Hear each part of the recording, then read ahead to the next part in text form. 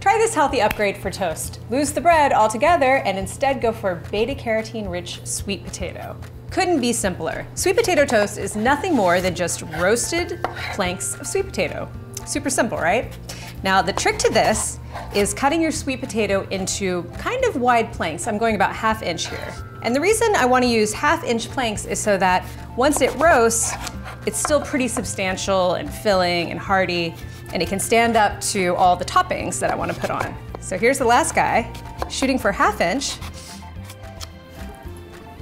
So I've got half inch here. Oh, you've also noticed I've left the skin on. That is where all the nutrients are. We wanna make sure that we get all those delicious vitamins and minerals. So transfer the planks to a large bowl, drizzle with about a tablespoon of olive oil, and season with salt and pepper.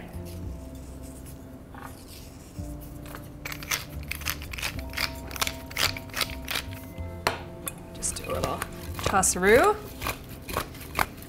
So there's all kinds of different varieties of sweet potato. I'm partial to the bright orange, but there's also the purple variety. There's sort of a pale white interior. Okay, this looks nicely coated. So transfer this to rim baking sheet. And we wanna make sure that everything's in a nice even layer so it cooks nicely. All right, now roast this at 400 degrees until they're all the way tender and a little caramelized about 30 minutes.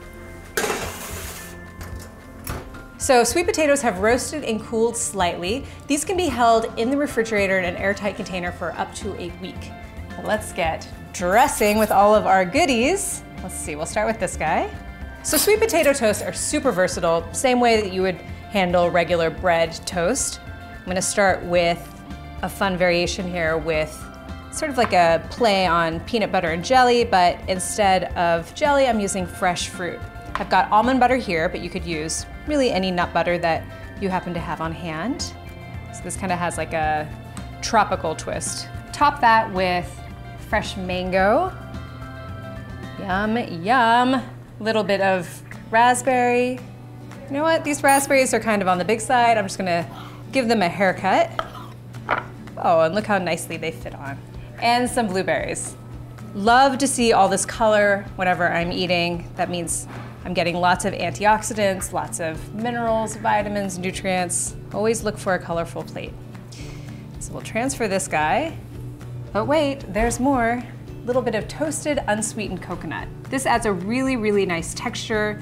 The flavor pairing with the sweet potato is excellent. Kind of brings out the natural sweetness in the sweet potato. Okay, so one, done. Next up, let's go savory. Sweet potato, let's go with a little sauteed chopped greens. This is a great way to use up any sort of leftovers you have in your fridge, odds and ends. If you're using greens, make sure you give them a coarse chop. It just makes eating a little easier.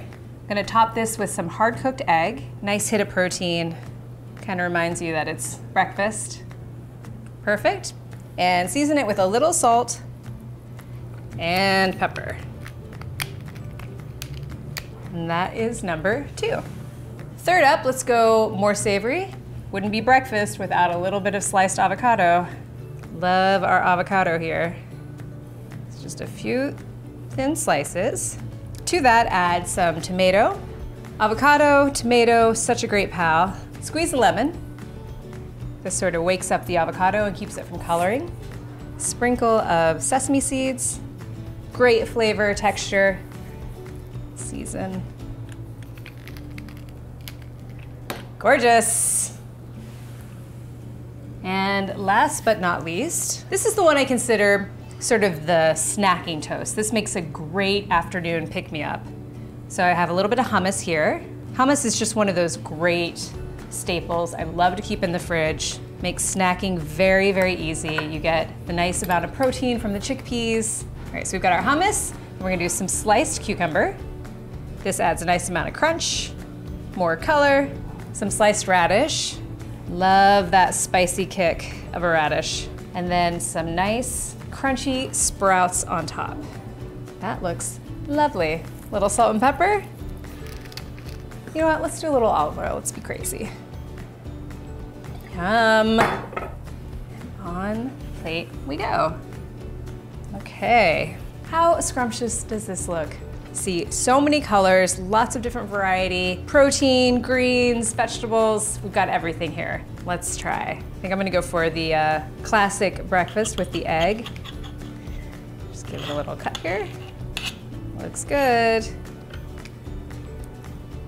Mmm, really tasty, satisfying, great way to start your day. Can't wait for you to try it.